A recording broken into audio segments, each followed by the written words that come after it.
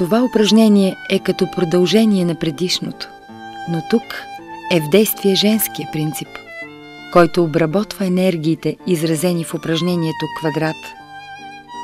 Понеже живеем в дома на природата, първо трябва да се учим от нея, да прилагаме нейните правила и методи.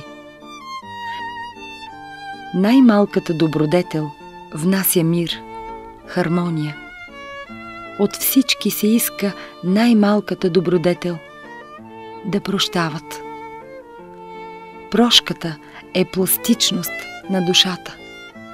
Прощаването не проистича от човека. Господ чрез духа прощава.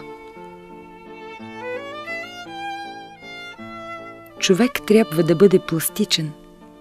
Пластичността зависи от духа като се стреми човек да живее по Бога, той става пластичен –